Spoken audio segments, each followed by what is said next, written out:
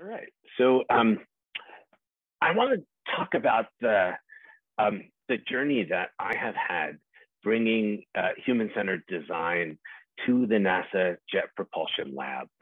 Um, I joined the lab uh, in 2012 and uh, came at the opportunity to bring human-centered design into how we th think about and design the tools to command spacecraft. And so um, I thought there's a lot that I could share, but I wanted to walk folks through one particular journey. Um, so uh, I don't know how many folks know uh, about the missions that have been happening, but I think one of the most exciting things that's happening right now uh, is uh, NASA has just put a rover on Mars. Uh, it was actually uh, built and designed at the Jet Propulsion Lab where I work. And it's really one of the first missions in uh, probably 20 or 30 years where astrobiology, in other words, the understanding and looking for evidence of the origin of life in other locations in the universe, uh, is one of the core objectives. And in fact, the rover uh, is going to be gathering, uh, drilling and gathering samples uh, on the surface of Mars for, and I think this is the most very, very exciting part, for the eventual return to Earth. Uh, there's a, a, whole, how that happens is maybe something we can talk afterwards. Uh, it's quite an exciting and complicated endeavor. But because uh, this is really the core objective of the mission, um, everything that we work on in order to figure out what the how to operate the spacecraft and what science to conduct are really guided towards seeing if we can uh, effectively discover evidence of life on another planet. And to me, the idea that design can play some kind of role in that is kind of amazing. Um, so why don't we talk through how I how this came about? So this particular mission is landing at a location in Mars uh, on Mars called Jezero crater. And Jezero, as far as the scientists can tell, is the ancient remains of a delta. So they're imagining that uh, that water, uh, standing water, existed here long enough for bacteria to potentially have lived within it, and for those bacteria to have left some kind of remains.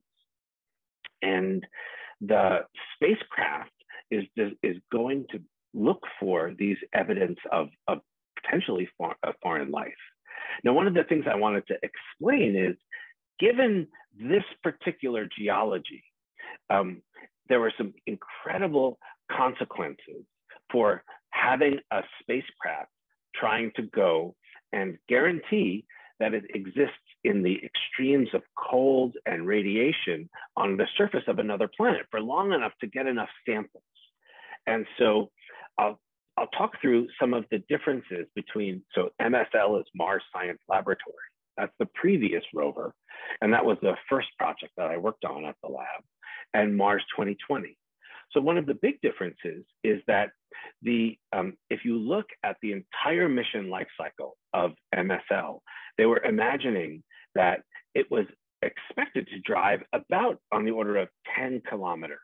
And um, during that time, it was going to have about 90 days to do that. Well, if you look at, there's actually the number of uh, the distance that they understand that the current rover Perseverance is going to have to drive. It's actually considerably considerably farther in order to encounter enough diversity of terrain to make a determination that they've looked at enough potential candidate uh, locations for life.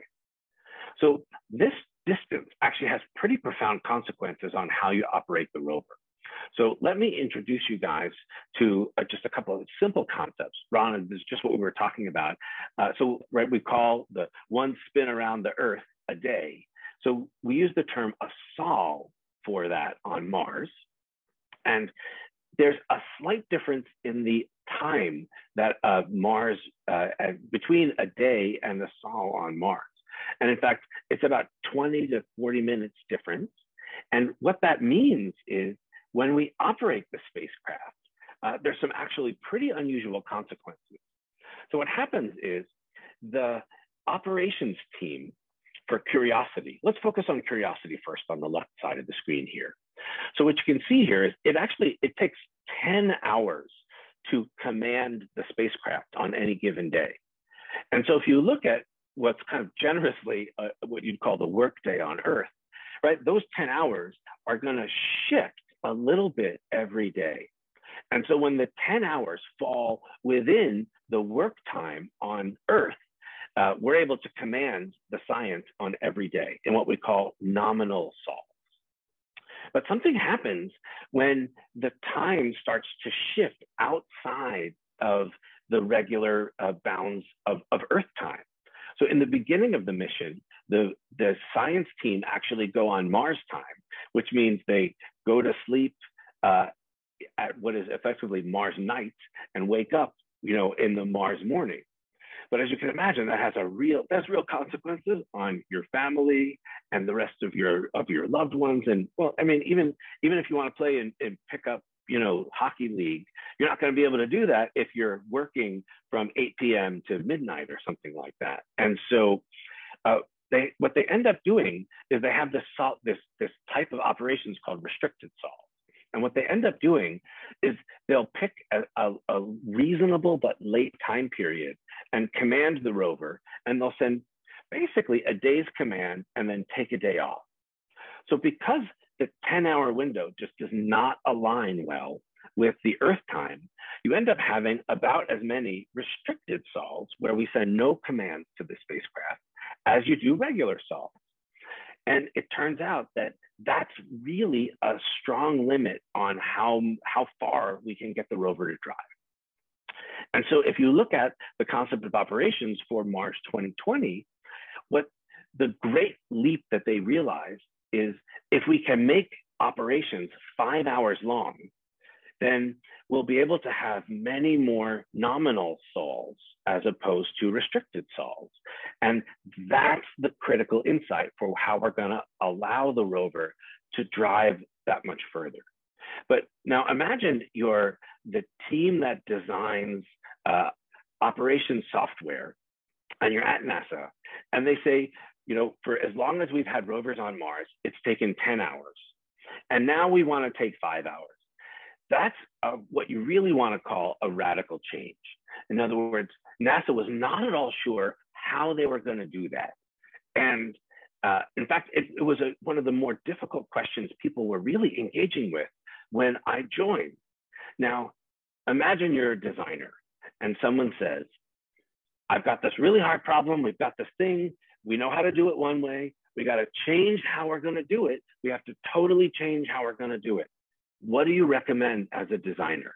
So go into your design toolbox and think through how you might work out such a problem. And this is one of the ways in which uh, I think design made the strongest contribution to this mission.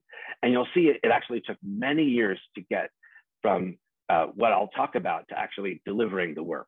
But of course, I think what, what we decided to do oh, uh, is, so what we thought we'd do is uh, propose, you know, hey, if you guys don't know if this is going to work, maybe the answer is prototyping. And um, I got to say, I didn't think that was going to be as radical a concept as it as it was received. Let me give you a little bit of background just about mission operations, and just so I think you can contextualize some of the why people saw this as literally math.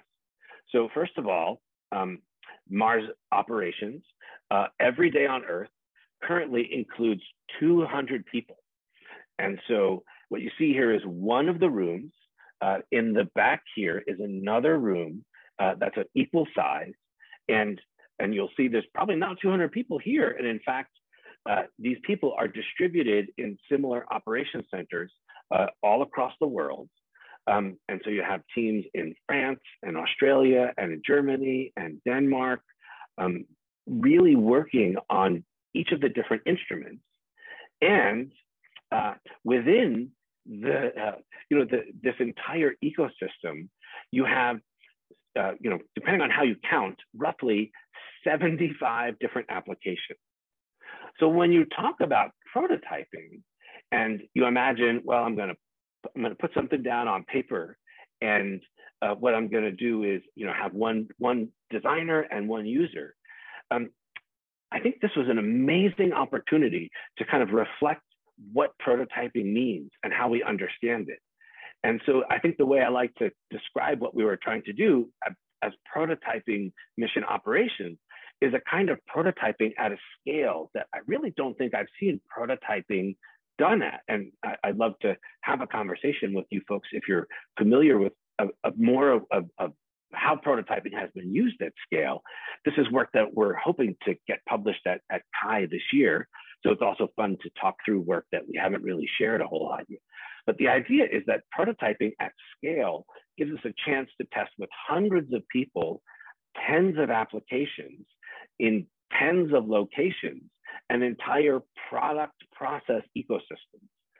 So it makes a little more sense when I said, let's prototype this, and people said, that's crazy talk. Um, yet it was not to be deter- deferred. And so let me give you a little bit more background for kind of how prototyping evolves at NASA and talk about how we came about this process. So there's, it's interesting.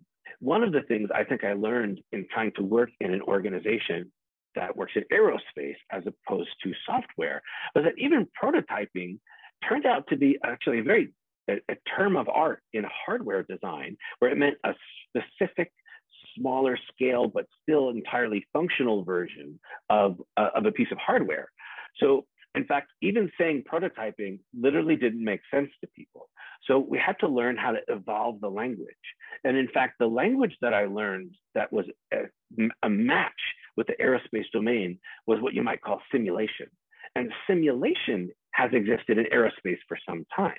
And in fact, you can see here uh, this smaller scale uh, airplane in a wind tunnel, right? So this is a simulation in that it's not a functional airplane, right? That would be a prototype. And so you can see this, they've had physical simulations and of course, computational simulations.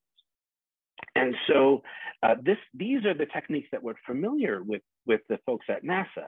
And if you go back into the kind of the, the black and white photography of the Apollo era of NASA, they actually had simulations that were quite elaborate and complicated, but still for particular individuals. Here's one of the astronauts training with the lunar module in the docking simulator. And so you can see here, like an elaborate machinery was built for just a singular task. So it's not as though there is not precedent. But I think what was especially interesting about the mission operations context was when you read the concepts that the uh, basically the systems engineers came up with, have this uh, image of art of, uh, of uh, acrobats here, because it seems as though handoffs are made entirely perfect in other words, the kind of the way humans interact seems as though it's of uh, entirely artful way that I don't think represents the reality of how people behave, even in as tightly orchestrated context as mission operations. And so I, I kind of use this image uh, of uh, crowd surfing in that I actually think even in more scripted phenomena, uh, actually uh, the way decisions um, uh, are, are brought about is often as emergent as it is scripted. And so what I thought was so beautifully complex about simulating operations is that we, we uh, because we're not trying to just draw a whiteboard out for how the ideal version is, if we can effectively walk people through it, what we're going to do is observe the places where these emergent phenomena uh, are in fact being enacted and assess the efficacy of a design in a way that you would not be able to if you were simply going by your drawing. So we came up with a concept that we like to call a design simulation. And I included the language here in the label because this is exactly how you have to communicate something to NASA.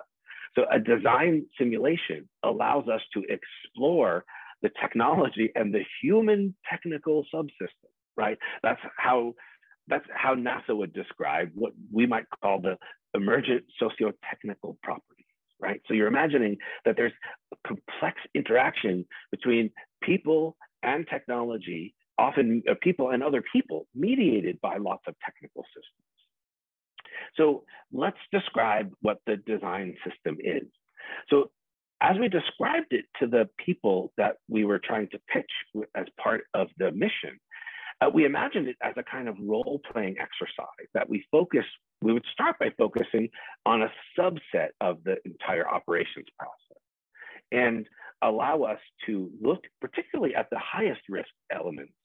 And the idea here was that we'd be able to, at any given time, in a way that might not have been really feasible or easy to do with just drawings, see who's in the room and what their various roles are. And then, of course, see how and when they decide to work together and how they do or don't make uh, decisions.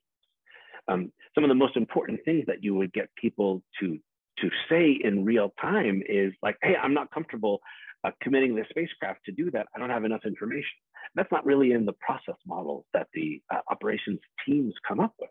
So we really need to see these things. Uh, of course, we want to see which tools are used and when and to do what. And of course, you want to see when people also want to put their headphones on and say, I'm by myself, I'm not listening to anybody. Uh, what work requires quiet time? And that's also a really important thing to learn. So let's walk through the kinds of things that you need to do if you're going to prototype something at this kind of scale. And I think we're going to learn along the way how much it feels like even prototyping at the smaller scale and what are the kinds of things you can learn and not learn. So I think one of the first things you have to see if you're going to prototype something this complicated is, is where did the data come from? And how realistic does it have to be? And so we took this approach of imagining that data could be a mix of fidelity in that you can see here a designer is drawing a, a flag which would represent a scientific point of interest on what is definitely not a real image of the Martian surface. But there are some roles for which this simulated data are not nearly specific enough. And in fact, some of the things about the traversability of the rover or understanding what the whether a scientist might be interested in uh, doing a, a, a particular study of a rock. And for those kinds of things, we needed to get high fidelity data. So here is our prototype rover. As you can see, it's radically simplified.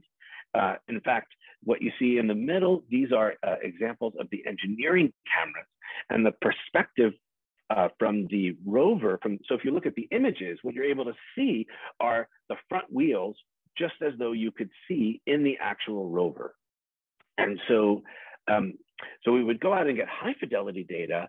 Um, and you can see this is in the JPL Mars yard. So it's a part of JPL where we actually have uh, terrain where all the rocks and the sand are uh, colored and the rocks are the shapes of rock. So we went out and we got really high fidelity data and we brought it through our, the computer models. And then what we have to do is we have to assemble uh, the, these mix of real data that we would print out on paper, uh, as well as these screens, and assemble these views into simulated applications. And so what you can see here is uh, particular views from an individual application. And of course, just exactly like paper prototyping, you need to be able to capture the different states that the application is going to be in and come up with some representation schema that's easy for you to trade the state. And so you'll put maybe the contents of one particular panel on one sticky note, right? So all that feels the same. But I think what, how it starts to feel a little bit bigger is you can see here that we actually need entire walls of whiteboard because each one represents just the panels on one application. And so it starts to grow in complexity. And so at first we thought, right, let's use this entire wall of whiteboards to create uh, applications. And let's let's try it not quite at 200 people. Let's let's make sure that we're going to get it right first. Let's focus on maybe some of the higher risk areas and some of the things with with not all of the staff and not all of the applications. And so in these examples these are two users who are actually walking through and so they're users of a particular type called, who go by the role rover planners. And so rover planners are the the individuals in operations who have the incredibly exciting and difficult job of maintaining the safety for the robot mobility. So anytime the robot's going to drive somewhere or the arm's going to touch something, their job's to simulate it. And so here they are going through, and so this was always going to be one of the hardest questions for how we would maintain safety during such high mobility. So we thought, let's start with one of the highest, uh, most unknown areas. And um, so I just maybe time check, um, almost at, at 20 minutes here. I'll, I'll, speed up for a little bit. Uh, so anyway, we would walk through these use cases with on the scale of 20 users at a time and on the scale of four to seven Confederates. And so you can see here, here are uh, members of the design team. Uh, the rest of the folks are different folks of the mission operations team. Uh, and you can see here are our actual printout image data. Here are our printout UI data.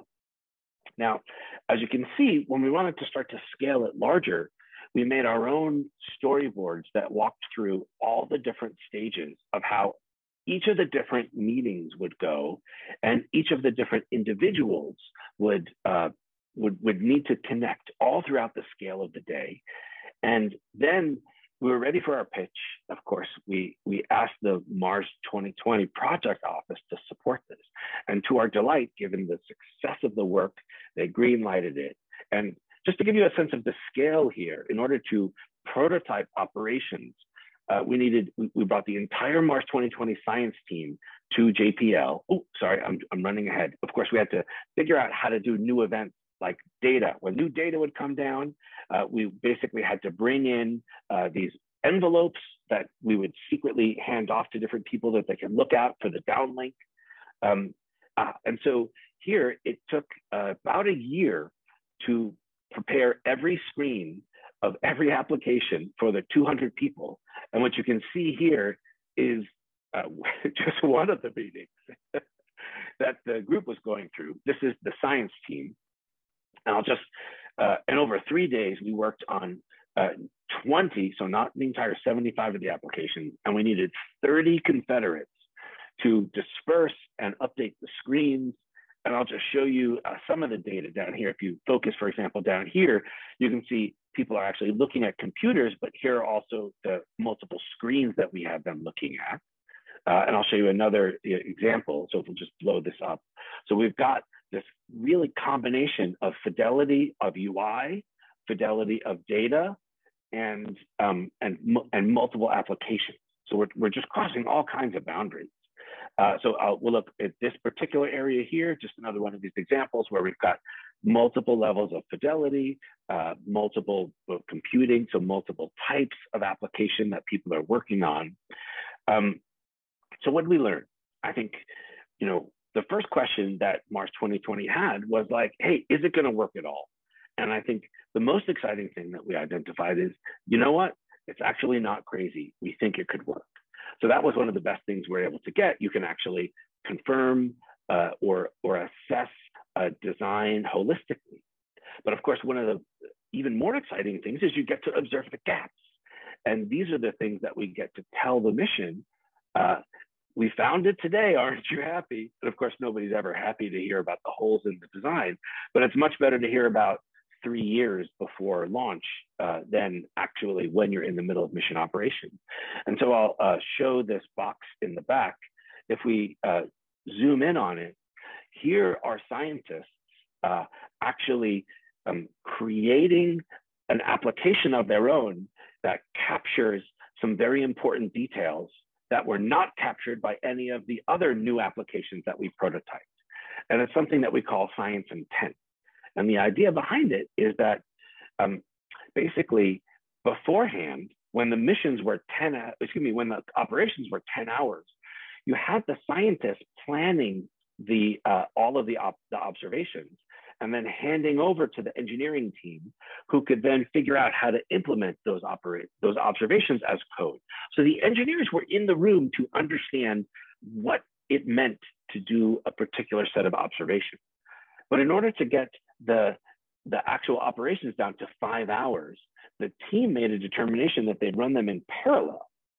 So what you actually have is the day before the science team comes up with a conversation, and then they just write down uh, what the experiments are, and they hand it off to the engineering team who will implement the next day. So what we we achieved faster operation, But what we also got in the way of was the beautiful nuance that gets communicated when a scientist explains why they want an observation. In other words, we captured the what and not the why. And so uh, what we realized is we needed an application to allow scientists to explain why. Uh, and we needed it to be less complicated than a paper, which is how scientists often communicate the why. And so we've got a way to structure scientific knowledge uh, that can be usable by the engineering team that we call the science intent application. And this is one of, I think, the great moments of success for design in mission operations because we literally found a gap and, and determined a way to address it. And this is an application that we, the, the mission agreed to fund, and they are now literally using in operations uh, every single day. And it's just been great to get to see that uh, happening. So uh, I'm a little, uh, I'm going a little over, so I just wanted to make sure one thing was clear in that while I'm expressing things uh, that they represent uh, the total work of a wonderfully committed and diverse group of designers that come from a really wide uh, set of backgrounds. And I think this is one of the essential things that makes the group that I've been able to grow at JPL so interesting, because I think they they bring such a diversity of perspective to solving so many of the problems. And of course, while I'm super excited about what I shared here today, it's really just a single example. I'll jump across these. I had some other examples uh, in here. Uh, maybe I'll just end it there. I, I, there's lots of other work that we could, that, that the group does and that we I'd be also happy to, to talk through. Um, but I just wanted to focus on this one today because design was such a high visibility, disruptive way for us to approach uh, a problem that I think has otherwise not been approached with a design thinking methodology. So I hope what's what comes across is that human-centered design uh, as a strategically valuable discipline at a place like NASA feels like something somewhat improbable when I started it and was certainly looked like with incredulity. But I also think that through the determination and flexibility and creativity of the folks in my group, we've been able to demonstrate that it's not just valuable, but essential. And I hope everybody takes that away as something that you can bring to whatever crazy idea you're thinking about applying design to. And I think that's where we're going to get the most interesting engagement of design uh, across a range of disciplines where people say, no way, it can't possibly work. Show them that it can. All right, Scott, that's absolutely amazing. And actually, I mean, I'm sure there's lots of discussion, but I'm just wondering maybe you could take like one, a couple of seconds, just quickly, like just slide by slide, if there were the other projects that you wanted to, um, sure. Uh, just just so people get an understanding of the range. Okay, well, one of the other ones that I think I'm also especially proud of is uh, basically the visualization tools to analyze the data that will come back to make an assessment of alien biosignature. And this is uh, by partnering with one of the instruments on the arm of the Mars 2020 rover. And that's this, uh, what's called PIXL here. It's Planetary Instrument for X-ray Lithochemistry. And it's an X-ray spectrometer that uh, will basically uh, be able to assess the, um, the structure of fossils well, basically any kind of mineral. And uh, myself and my team uh, similarly partnered with the, the team of astrobiologists, and we actually convinced them, hey, you know, if we're designers, we could teach you something about astrobiology that maybe you don't know about your own work practice. And again, it's the kind of thing that kind of seems incredulous to that group of scientists. And here is an example of the application that we've delivered to the Mars 2020 team uh, that allows a, a team to basically identify different types of mineral classifications using their spectra and to be able to uh, assess correlations. Uh, additionally, the team works on uh, earth science, uh, assessing and making sure that data are available to the public. We have a whole series of work where we've, let me see if there's other things. we've gotten here. Uh, we've gotten to uh, effectively conduct experiments on the use of virtual reality to, uh, to be able to assess the geology of another planet that someone might not ever be able to visit. Uh, I think I might have cut the others out just to make this presentation more manageable. Uh, but I can send some links to a larger portfolio of the work. But there's a broad range of work that, uh, that uh, we, we get to focus on. Largely, it's around uh, effectively operations of spacecraft, assessing the data that are often of a geophysical nature. And so there are physics, uh, chemistry, biology, um, uh, Earth atmosphere, um, earthquake. I mean, all, basically all the physical sciences. Um, and of course, biology around the, the, the, evolution of life and whether it uh, arrived, uh, evolved elsewhere.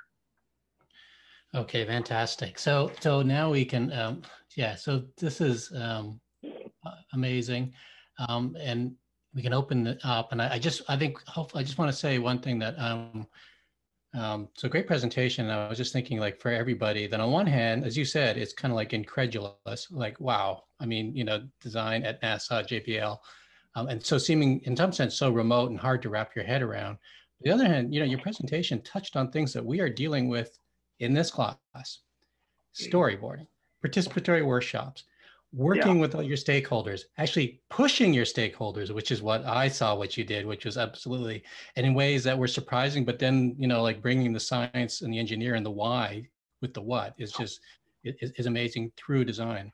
So, and so in many ways, this is actually completely relevant to everything that, that, that, that, every, that we've been discussing and learning in the class.